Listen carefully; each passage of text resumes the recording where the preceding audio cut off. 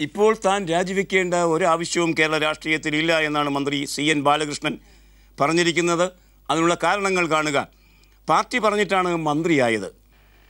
വാർത്തയും വീക്ഷണവും പേജിൽ മാതൃഭൂമി ആ വാർത്ത തരുന്നു. പാർട്ടി പറഞ്ഞിട്ടാണ് മന്ത്രിയായത്. ഇപ്പോൾ മാറാൻ പറയാൻ മാത്രം സാഹചര്യം ഉണ്ടായിട്ടില്ല.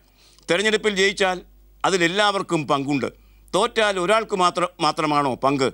എന്തായാലും തോൽവിയുടെ ഉത്തരവാദിത്വം ഏറ്റെടുത്ത് രാജിവെച്ച് നല്ല പിള്ളയാകാനുള്ള പരിപാടിയൊന്നും തന്റെ കയ്യിലില്ല.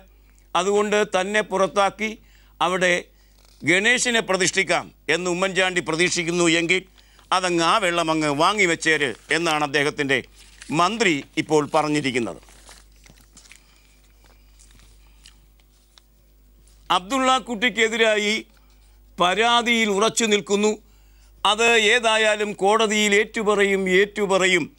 എന്ന് ഭീഷണിപ്പെടുത്തിക്കൊണ്ട് നിൽക്കുകയാണ് സരിത. അഞ്ച് തവണയായി കോടതി ആ സ്ത്രീയെ വിളിക്കുന്നു. അവർ കോടതിയിൽ പോകാറില്ല പോയാൽ മിണ്ടാറില്ല. ഇനി വല്ലപ്പോഴും ഒരിക്കൽ അവർ വന്നപ്പോൾ മജിസ്ട്രേറ്റ് ഇല്ലേന്താനും ഈ അർത്ഥത്തിൽ കോടതിയും സരിതയും തമ്മിൽ ഒളിച്ചു കളിച്ചു കൊണ്ടിരിക്കുന്ന അന്തരീക്ഷം മലയാളികൾ കാണുമ്പോൾ നാണം കൊണ്ട് മലയാളിയുടെ തല താഴുന്നു. വേശ്യയാണ് ഈ സ്ത്രീ എന്ന് പറഞ്ഞത് പി സി ജോർജാണ്. ഇരിക്കാൻ പറഞ്ഞാൽ കിടക്കുന്ന ഇനമാണിത് എന്നും പി സി ജോർജ് പറഞ്ഞു. അവരുടെ അത്തരമൊരു സ്ത്രീയുടെ കത്ത് വെച്ച് വിലപേശുന്ന ബാലകൃഷ്ണ പിള്ളയുടെ പ്രായം മാനിക്കുന്നത് കൊണ്ട് അയാളുടെ ചെകിടത്ത് ഞാൻ അടിക്കുന്നില്ല. അതും പറഞ്ഞത് പി സി ജോർജാണ്. എന്തും പറയാം പി സി ജോർജിനെ എന്തും കേൾക്കാം ബാലകൃഷ്ണ പിള്ളയ്ക്ക് ഗതികേട് വന്നാൽ ഇതും ഇതിനപ്പുറവും വരും. ഗതികേട് ബാലകൃഷ്ണ പിള്ളയെ സംബന്ധിച്ച് അധികാര കൊതി അധികാര ആർത്തി അതുമാത്രമാണ് ഏതായാലും. അബ്ദുള്ള കുട്ടിക്കെതിരെ വലിയൊരു ആയുധമായി കോൺഗ്രസ്സുകാർ സരിത എസ് ഉപയോഗിക്കുന്നു. ആരൊക്കെ ഉപയോഗിച്ചു ഈ സ്ത്രീയെ? ഉമ്മൻചാണ്ടി തുടങ്ങി ആരൊക്കെ ഉപയോഗിച്ചു? കോൺഗ്രസ്സുകാർ സ്വയം പരിശോധിക്കേണ്ട കാര്യമാണ്.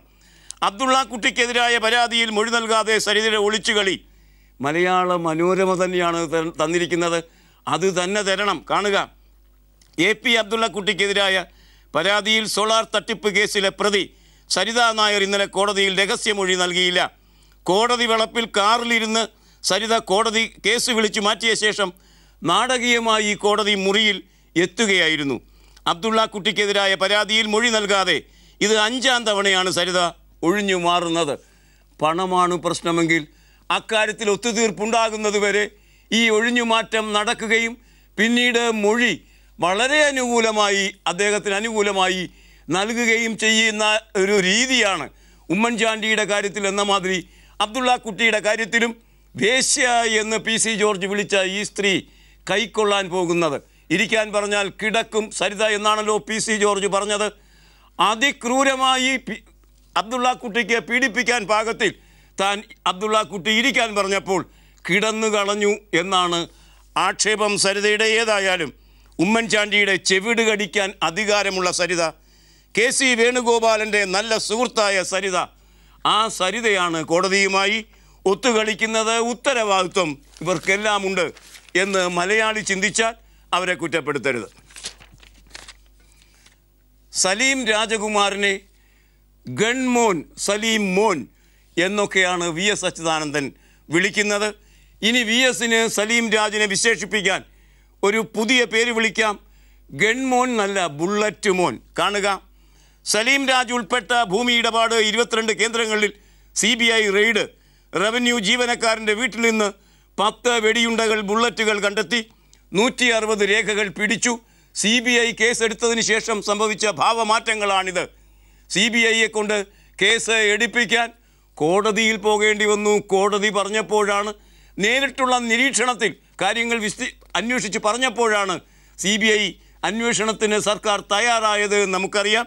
അതിനുശേഷം ഉണ്ടായ കാര്യങ്ങൾ ഇങ്ങനെ കടകംപള്ളി കളമശ്ശേരി ഭൂമി ഇടപാടുകളുമായി ബന്ധപ്പെട്ട ബന്ധപ്പെട്ട മുഖ്യമന്ത്രി ഉമ്മൻചാണ്ടിയുടെ മുൻ ഗൺമാൻ സലീം രാജിന്റെയും മറ്റ് പ്രതികളുടെയും സർക്കാർ ഉദ്യോഗസ്ഥരുടെയും വീടുകളിലും ക്വാർട്ടേഴ്സുകളിലും സി ബി ഐ റെയ്ഡ് ഒന്നിച്ച് നടന്ന ഒന്നിച്ച് നടത്തിയ ആ റെയ്ഡിലാണ് കളമശ്ശേരി ഭൂമി തട്ടിപ്പ് കേസിൽ പ്രതിയേർക്കപ്പെട്ട കണയന്നൂർ താലൂക്ക് ഓഫീസിലെ U D clerk Cherthala Poochakkal Puthampurakkal മുറാദിന്റെ വീട്ടിൽ നിന്ന് കണ്ടെത്തി വെടിയുണ്ടകൾ കണ്ടെത്തിയത് അഞ്ചും അഞ്ചും പത്ത് വെടിയുണ്ടകളുടെ ചിത്രവും മാതൃഭൂമി ഒന്നാം പേജിലെ ഒന്നാം വാർത്ത ആയി തരുന്നുണ്ട്.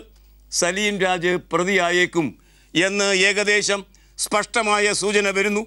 എന്നാൽ ക്ലിഫ് ഹൗസിൽ അത് ഒരു ദുഃഖാചരണത്തിന്റെ ദിനമായിരിക്കുകയും ചെയ്യും എന്ന് നമുക്ക് ആലോചിക്കാം.